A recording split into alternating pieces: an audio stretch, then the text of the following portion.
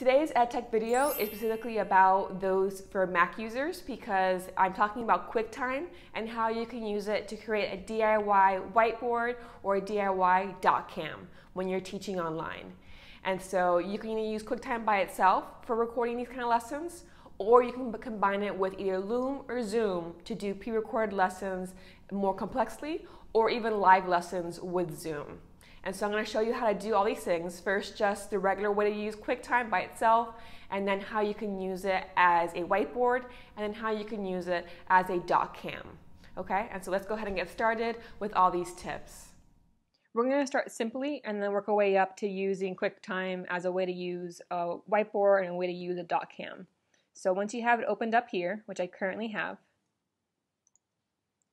you go ahead and go up to File, and you'll see these top three, new movie recording, new audio recording, new screen recording. Now if you just want to record what's on your screen, oh, sorry, then you'll click new screen recording. And then it'll open up here. You can tell the mic is working because I'm speaking and the sound is opening up. So then you just click record. And then you can decide if you just click, it's a full screen. But if not, if you only want a certain part of the screen, you click and drag and then you click start recording.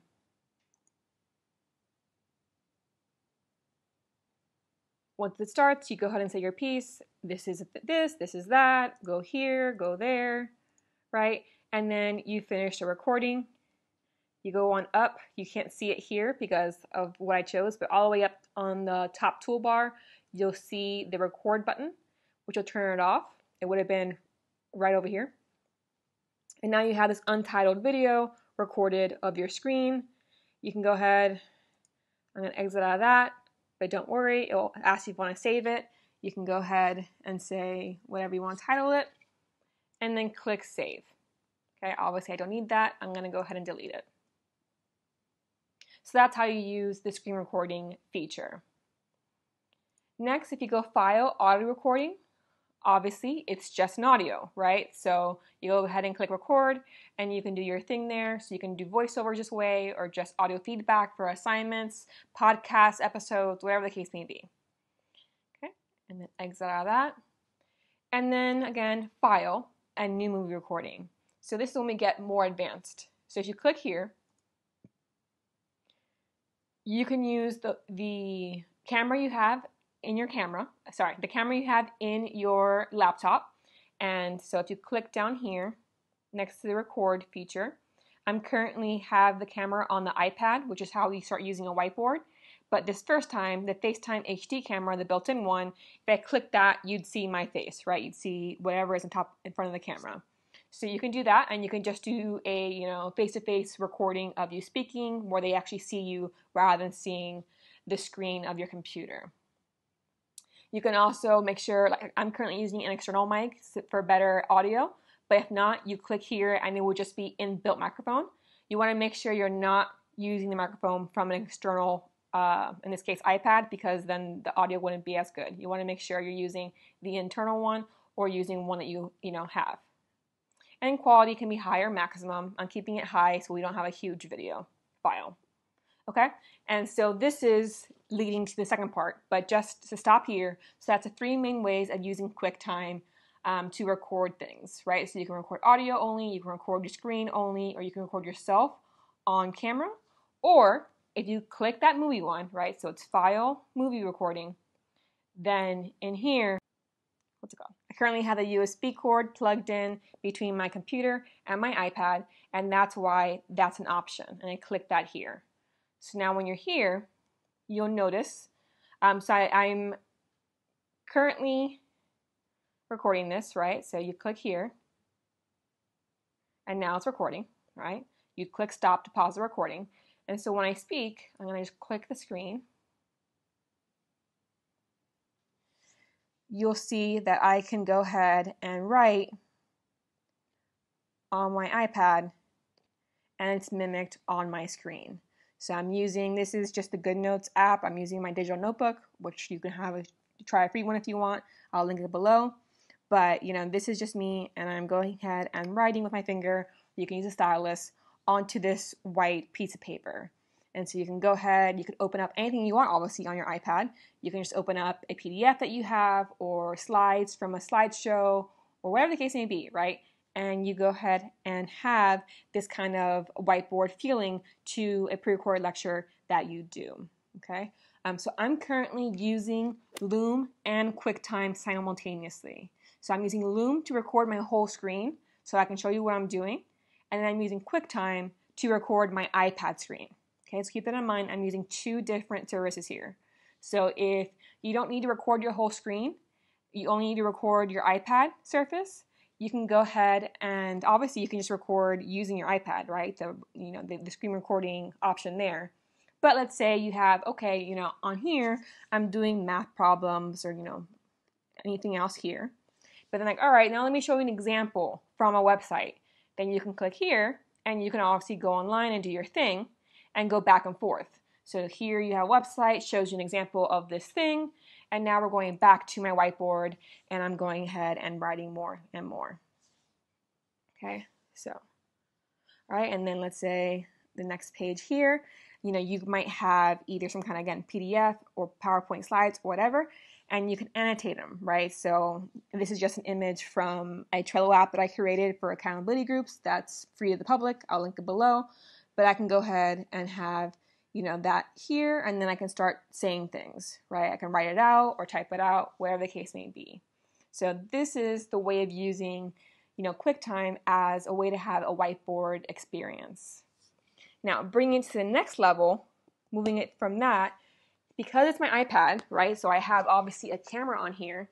So if I go ahead and exit out of this and click camera you know I can use it also as a doc cam so I can set it up somewhere and just have it, you know, this is my, my forward facing camera and here's the book that I've assigned before and I can go ahead and open it up and show students whatever I want. So if you have any printouts, then that's another way of using your iPad rather than as a whiteboard, in this case as a doc cam. So let me go back here. So that's a third way that you can use uh, QuickTime in order to make it like a really interactive experience. Uh, a few things to keep in mind is video usage. So if you show a video here, right, just on your website, so let's say you're recording using Loom and QuickTime, you will be able to hear this video playing on the Loom video, right? So if you're on YouTube listening to a video, you know, so you're recording that experience, and then once you finish pre-recording this lecture, you click stop, it becomes a Loom video, right?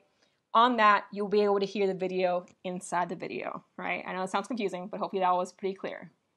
Now, if you use QuickTime and Loom together, that's a different story. So let's say I opened up a video on my iPad, you would not hear the audio on the Loom video once you completed it. Okay? So you have to use videos on your actual computer if you're using Loom to record your different your your presentation. Now, if you're not using Loom, you're just here and you want to record yourself on QuickTime, right? Then in that case, if you show a video on your iPad, it will you will be able to hear it once the recording is done. For some reason, I couldn't actually hear it when it was playing live, but then once the video stopped, I stopped the video, I checked the file. On the file, you can hear what the video was saying. Okay, so keep that in mind. You want to make sure that if you're recording the whole screen, right, so the movie and Loom, then you want to make sure you watch videos on the actual laptop and not the iPad. Okay, so something to keep in mind. For that doc cam option that I showed you, so like I said, if you wanted to just use it with, you know, the iPad, that's totally fine. But what would be cool if you're only using doc cam stuff, you're not trying to do any kind of whiteboard thing, is I would use my phone instead, okay, because it's much easier to maneuver. So you plug in your iPhone into you know the USB cord, and then you have that set up somewhere, kind of like on a ledge or on a stack of books, or the case may be, and then it's pointed down onto a piece of paper or to a desk or the floor, whatever the case may be, and you can go ahead and use that as a doc cam, and you can write up problems by hand on a piece of paper or you go over you know pdf pages that have been printed out a physical book you know it depends on obviously what you're teaching so I would suggest if you just want to use a doc cam function, use your phone to make it really easy to maneuver. And so I'll show you an image of how I do this um, with kind of a portable standing desk that I have, which I also will link below um, in case you're interested in buying that. Uh, but this was kind of a suggestion I saw on Toyin's YouTube channel. So if you haven't checked out hers, the Academic Society, I'll link it below. So she had this, uh, you know, video about how she used an actual real doc cam, you know, at home to teach her math classes, um, but also how she used this movie feature of QuickTime. And so it kind of gave me an idea for this video too, but how you can use your phone as a doc cam if you don't have a real one that you can actually take with you to, to your house. Okay. Finally, something, a word of warning. So right here, I'm recording my whole screen uh, using Loom. And I'm also recording, as you can see here, this QuickTime video. Now, if Loom somehow stopped working, right, you, it, you know, it shuts down unexpectedly, the video doesn't load properly, because I've been recording this, at least I have, you know, that saved. Because once I stop here, it's its own recording separately. If you want to kind of save battery space though, so I'm going to go ahead and press stop. And you'll see that it loads the movie. So obviously the length will depend on how long that takes. So now that's untitled and I'll save that later. So you save it, you rename it, and it's done. Now, let's say I went ahead and stopped now the Loom recording and, you know, I went to Loom and oh no, it didn't work. Well, at least I had the QuickTime still there. If I did, again, file new movie recording, you know, I don't have to, have to actually click record, you know. I can just go ahead and do my thing and write on it and you know it saves battery because you're not doing two recordings at once. You're only recording here on loom. But of course there's that risk right? So if something goes wrong with loom you have no guarantee you'll lose everything you pre-recorded using your whiteboard. So to me better be safe than sorry. Just have your computer plugged in and it's not a big deal or have it fully charged and you can last for a while. But i just wanted to let you know that is kind of this element you can choose. Do you want to have both recorded at once or not? Okay so once you finish your you know, session, you go ahead and click stop recording and it should save it as a video on Loom and then, you know, you can go on from there on the Loom site. If you've never used Loom, I do have two videos, a long tutorial and also a short one.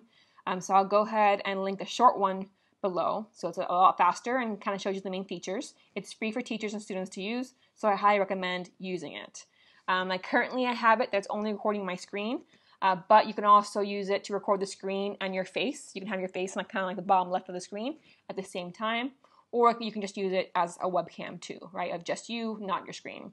So I do, you know, recommend it in case you haven't started recording any lectures or activities yet.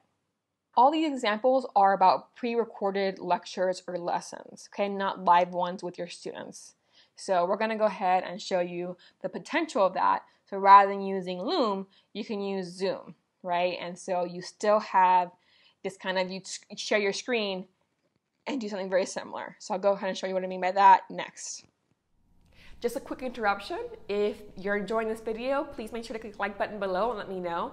And if you want to make sure that you don't miss any other ed tech tips or just tips about teaching in general, go ahead and click subscribe as well. I also have a PDF with EdTech tools listed along with the tutorials I've already created for them, and you can access that in the link below too.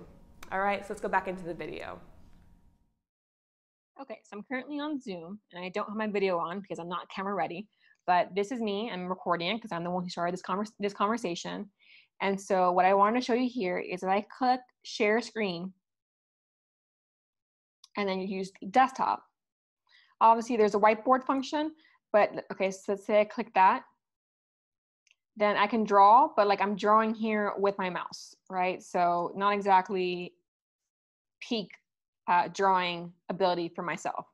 So if I go ahead, and let's clear that because no. Go ahead and do my desktop and share that. Now you're seeing, let me make sure, here, and once again, I have the movie open with my iPad and I'm writing on it whatever I need to, or I'm typing on it with a text box. Right? So much easier because I can use a stylus on my iPad where I can't do that on my actual laptop.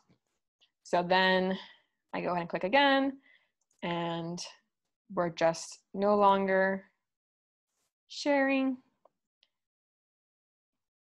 You could also just do the QuickTime specifically. So I could I click that and I share that, all you're seeing on screen is my my QuickTime movie. Okay, so now you see this part rather than my whole screen. So it can be obviously easy that way too, if you wanted to.